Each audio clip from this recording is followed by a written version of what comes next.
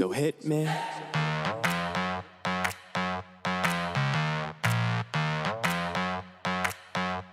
So hit me. Hi guys and welcome back to another Matt Leach golf video. In today's video I'm going to walk you through what clubs I use in my bag for the 2020 season. I get asked this quite a lot what equipment I use on the back of YouTube videos, people ask me on social media so I thought what better opportunity on a slightly cooler day here at St Ives than to go through my golf bag and tell you the clubs that I use. Now the first thing that you'll probably notice is that I am entirely Titleist based. I'm very fortunate, I mentioned in the video um, at St Ives on the front nine that I get supported by Titleist here at the golf club so I'm very fortunate for that. So all Titleist clubs first of all, Titleist bag, Titleist clothing, and we'll start with the driver.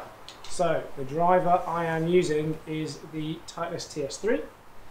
Uh, tried out both of the heads that they had at the time, the TS3 and the TS2. They've got a couple of other ones now as well. But the TS3 was the one that really suited me and it's been a revelation really. Uh, I'm set on a 8.5 degree head but I'm on a D1 setting which I believe is 0.75 degrees down from that. So we're looking at a 7.75 degree head. The reason for that is that I tend to launch the ball quite high. I also tend to spin it quite high. So to match that, I have got an Oban Kiyoshi black shaft in here. 65 grams, extra stiff. Combination of that and the head for me just works absolutely fantastically. Uh, a Golf Pride grip on there and my shaft is three quarters of an inch shorter than standard. Uh, the reason for that for me was that I didn't really need the extra distance that the longer shaft would give me, but the shorter shaft just gives me a little bit more control, hit the centre of the face more often, so that means I'm going to hit a few more fairways, and that's the number one priority. So that's my driver. I used to use the 917 beforehand, and, uh, and that was a big, big upgrade for me, so I'm chuffed about that one in the bag.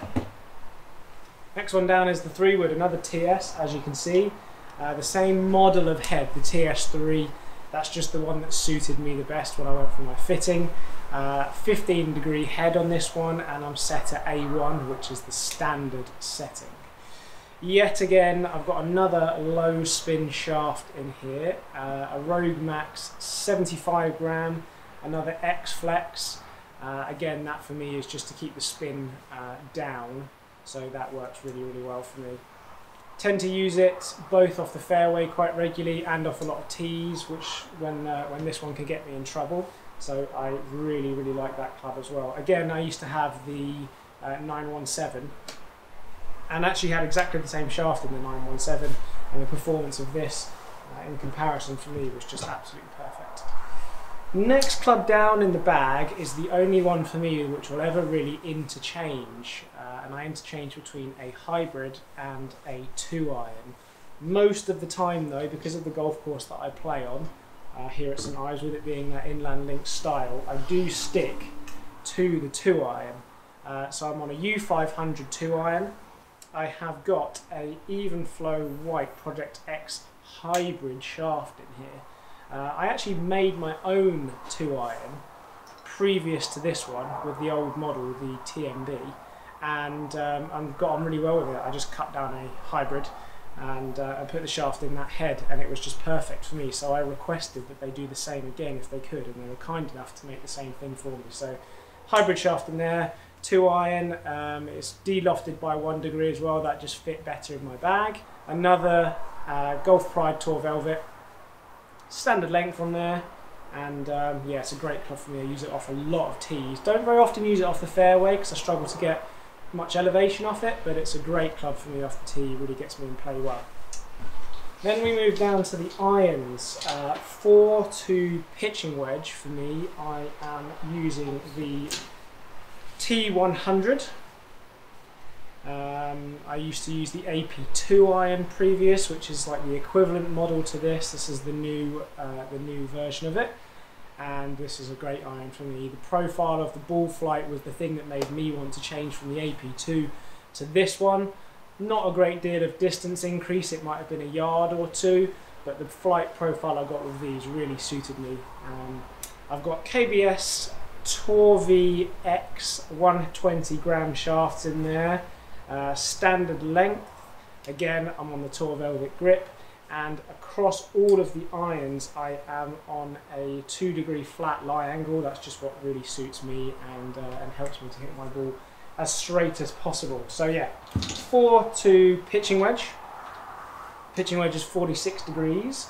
And then we move into my wedges, and I use Vokey wedges, and I'm currently on the SM7 model. Now, this is probably the only thing that might change in my bag over the course of the 2020 season. I might move into the new SM8s, but I just haven't had a chance to get fitted for them yet with the situation that we've been going through. So I'm still in the SM7s. I use a 50, 54 and 60 degree. So the 50 is 8 degrees of bounce, F grind, same shaft in there as I have in the irons just to make the, the, uh, the continuity of that set as good as possible. And the Golf Pride Tour Velvet grip. then the 54, again same shaft and I am on a 54 degree head M grind on this one with 8 degrees of bounce. This just allows me, if I want to, to just open up the face a little bit because it does have a fraction of heel relief in there. Um, if I ever want to hit any of the sort of finesse shots with that one. Tend to use it mainly for uh, either full swings or kind of half swings approach shots. I don't use it all that often around the greens, but when I want to, I can open the face on that one a bit. Then we go down to the most used club probably in the bottom end of my bag, my 60 degree wedge. It is again an M grind, 8 degrees of bounce. I like that heel relief as I say so I can open the face up a little bit.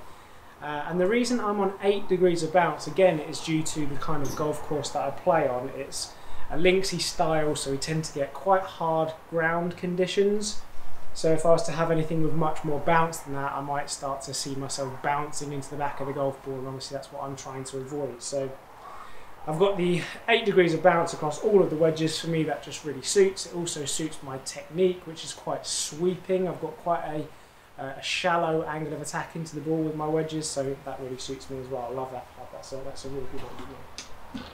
Finally, the moneymaker, as they call it, the Scotty Cameron putter. This is the Select Newport 2. Uh, it's a couple of years old now. It's the one that still has the insert in. I know that the new model doesn't have the insert anymore, so I might be looking at that one at some stage if I uh, if I get lucky. I have got a 33 inch length of shaft and 220 gram weights in the head, which I think is pretty standard for that shaft length. Mid-size Scotty Cameron grip, as you can see it's nicely worn because my putter gets quite a lot of use. Uh, I practice with it a lot. One thing I would like to do with this at some stage is send it off to the Scotty Custom Lab. I'd love to get this all customed with some name and stuff on there. And uh, yeah, I think that'd be really cool. But um, I love the Scotty stuff anyway because it's already got the red logos in there, so that, that really suits me. But yeah, love this putter. I'd be hard pressed to change it. It uh, it works really well. I love the classic style of the putter. Looks like the uh, those old Ansers of the of the time. And yeah, it's a great club for me. Love it, and I'd be hard pressed to change. So guys, that is what I carry in my bag. I also uh, use a Titleist Pro V1 golf ball, which I got fitted for as well. I tested between the Pro V1, the Pro V1X, and the AVX and the Pro V1 was the one that suited me the best. Uh, and on top of that, I use a FootJoy glove. So guys, that is what I carry in my golf bag, and that's what's going to be in my bag for the 2020 season, what's left of it. If you like this video, make sure you give it a thumbs up and drop me a comment below to let me know what you think to my golf bag, what you think to my setup, and maybe what you carry in your bag as well. Make sure you subscribe to the channel and we will see you next time for another video.